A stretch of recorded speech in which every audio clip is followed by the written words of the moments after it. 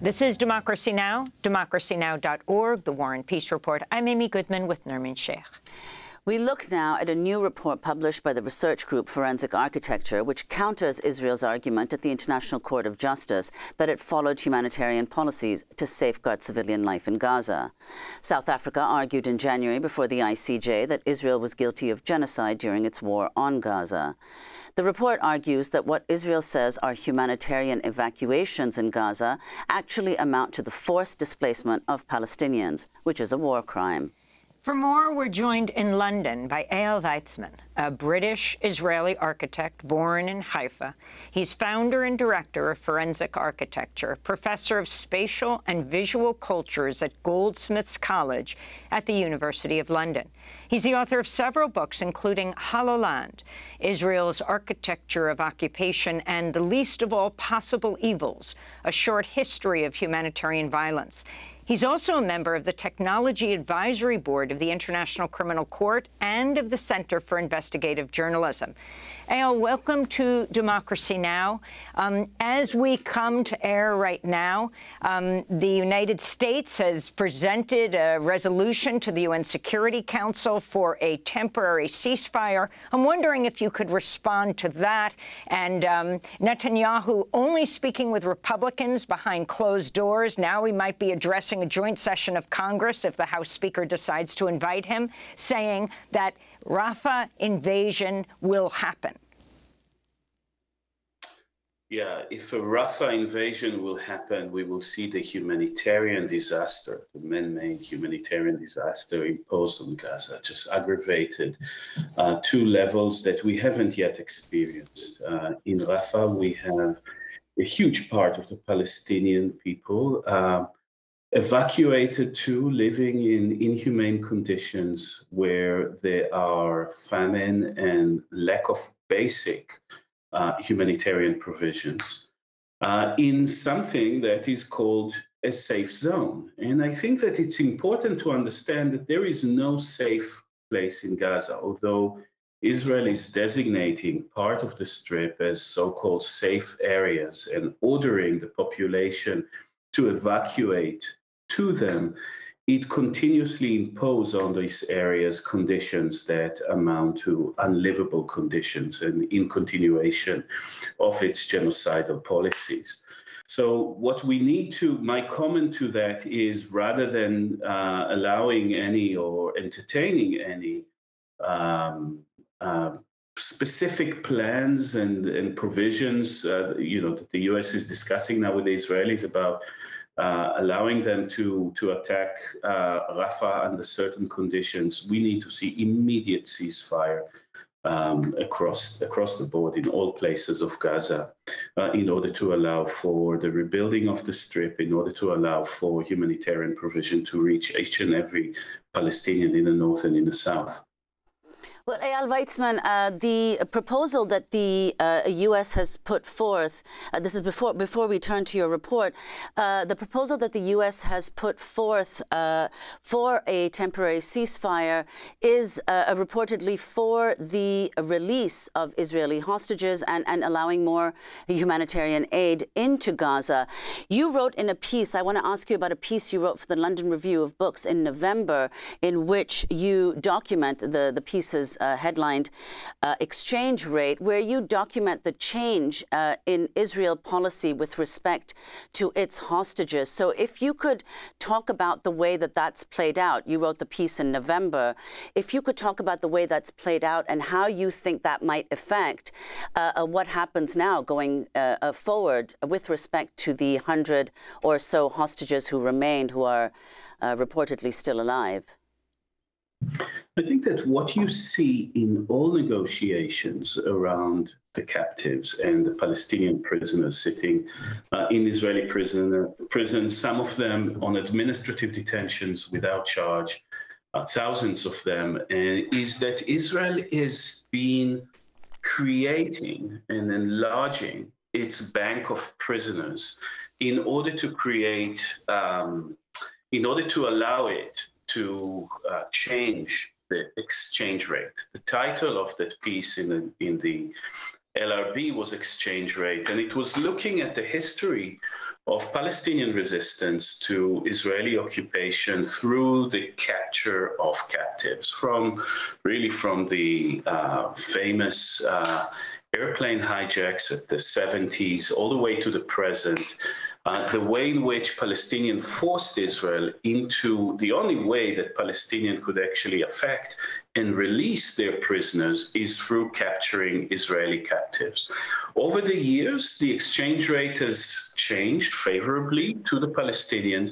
And what you're seeing is that Israel is now arresting uh, people in order, Palestinians, uh, again, and holding them in administrative detention in order to beef up its bank of captives. More than that, you could see that in the reports on the negotiation, the fate of those people that have been purportedly evacuated into safe areas is being brought into the equation. One way of thinking about it is to say, of course, Hamas or Palestinian uh, fractions in Gaza are holding over 100 Israeli captives, and Israel is holding close to 2 million Palestinian captives uh, in and bargaining for their return home in exchange for its prisoners. And that is obviously patently illegal according to international law. And uh, the fact that even that is being brought into the negotiation testified that that was the intent of holding them away from their home as a bargaining chip um, towards that. So you have exchange rate now that is 200 million Palestinians displaced, uh, sorry, 2, 2 million Palestinian displaced, 100 Israeli captives, and this is really where the negotiations are, are going. Eyal Weizman, let's turn to your uh, report, the Forensic Architecture Report, which is headlined Humanitarian Violence in Gaza. If you could begin just by explaining the two words don't normally come together, humanitarian and violence. If you could explain what you mean by that. Of course, you've also written a book on this. And then uh, lay out the three phases of mass displacement that you document in the report.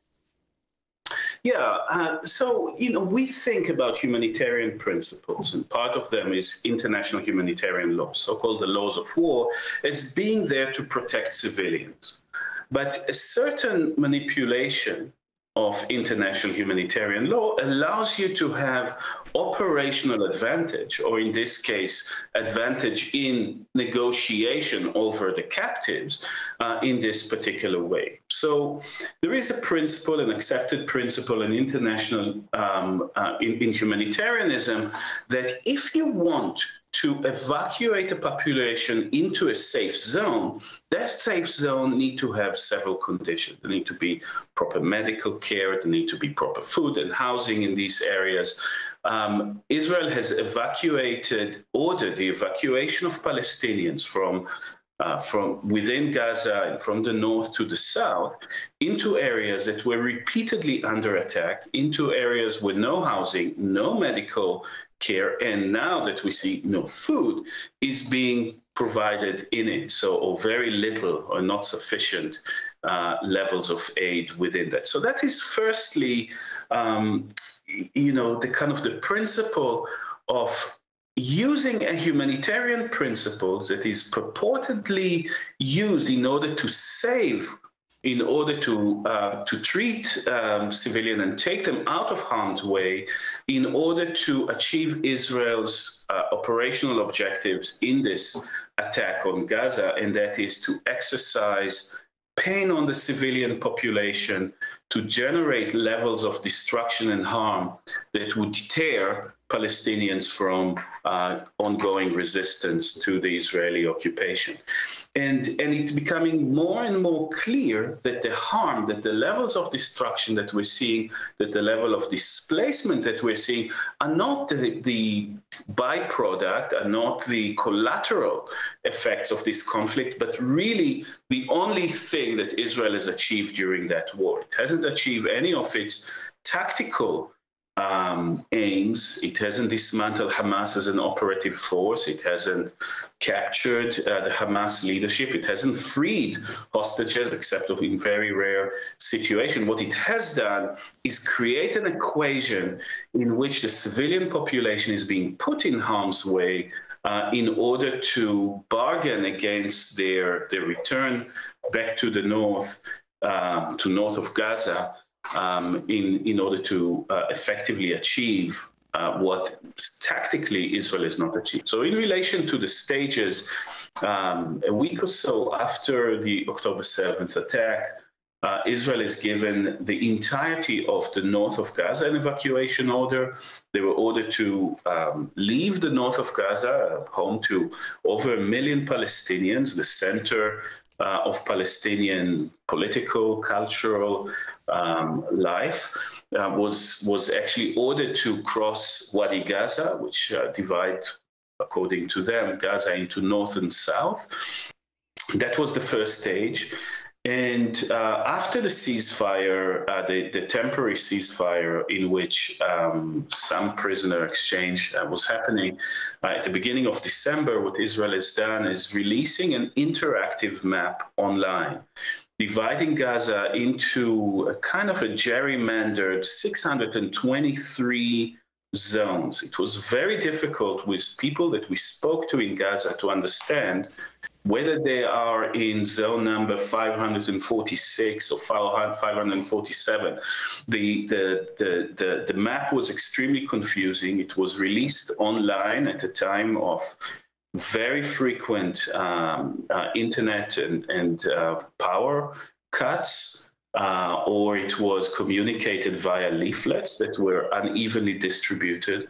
It was an incredibly confusing system that led to the ongoing displacement of Palestinians from one zone to the other. So when they were, after they were ordered to all move into southern Gaza from different parts in the southern part of Gaza, they were ordered to go into different places. And what the report is showing is the systematic and ongoing use of these evacuation orders were uh, meant to, um, to achieve that dis- population displacement and, um, and that people were continuously being put in harm's way. The routes, the so-called safe routes along which Palestinians were ordered to evacuate were attacked areas where they went to had no provisions and very often were attacked themselves. So we cannot see that humanitarian policy, so-called humanitarian policy of, of, the, of the Israeli forces, um, and the argument that Israel has put forward in The Hague that, you know, they are not in violation of the Genocide Convention because they apply humanitarian principle, but we cannot see it as anything else but part of the genocidal campaign that is actually uh, afflicted on Palestinians in Gaza.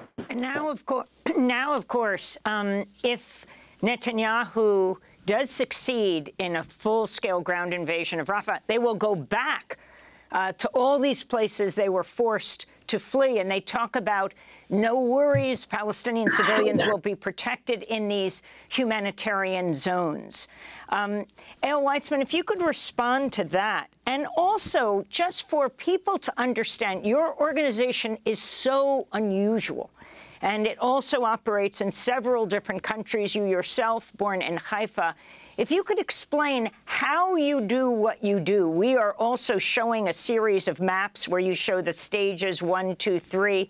You've done so many different investigations from who killed uh, Shireen Abu Akleh, the great Al Jazeera Arabic reporter, when Israel was saying, caught in crossfire, you prove the opposite. She was killed by an Israeli sniper, among other things. Can you talk about what forensic architecture does and what you, as an Israeli-British architect, are doing in this kind of analysis, an architect?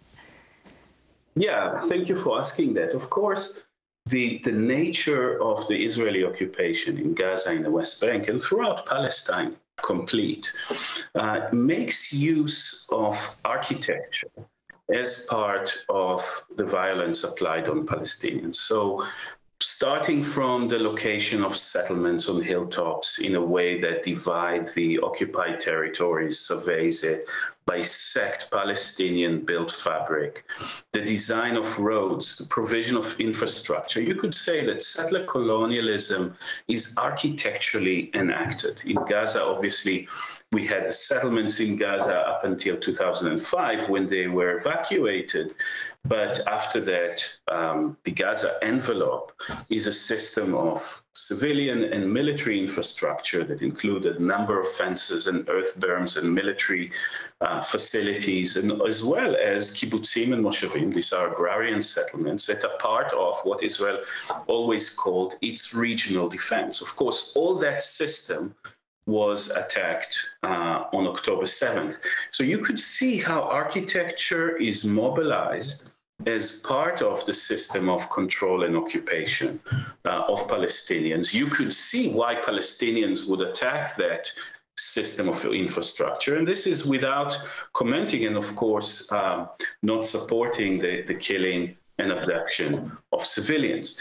But um, I think that architecture is a key part of that, of understanding uh, the conflict, the long history of Israel settler colonization, and also understanding what is happening in Gaza now. It is happening in urban environment, and one has to understand what this urban environment that has been uh, created over the years of, you know, since really the Gaza Strip was created as a historical anomaly uh, in 1948 when it was carved out as a kind of concentration area for refugees, becoming one of the densest part um, of the world, dense, most densely inhabited part of the world. How do you control population centers. And, and a lot of thinking was done from the Israeli side in terms of thinking about the control of Palestinian as an urban problem.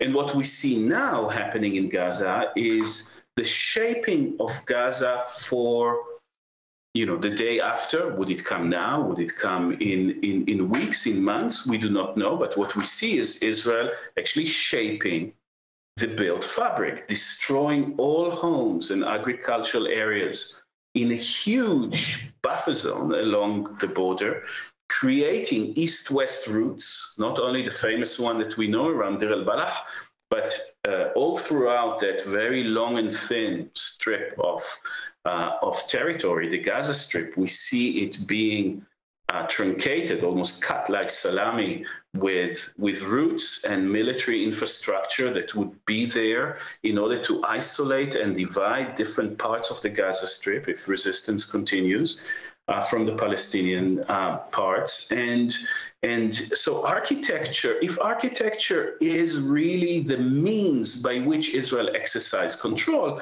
we architects and the organization that I run, Forensic Architecture, is you know, has many architects working with us, but also open source investigators, journalists, uh, uh, uh journalists, uh, lawyers, etc.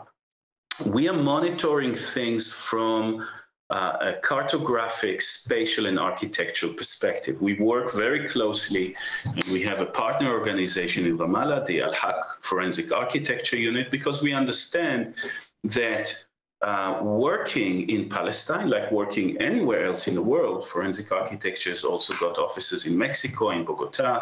Now we're starting one in Istanbul, in Athens, in many other places in the world. But understanding the lived reality, understanding the way that architecture is used as an oppressive mechanism requires also the lived experience, understanding the lived experience of people there.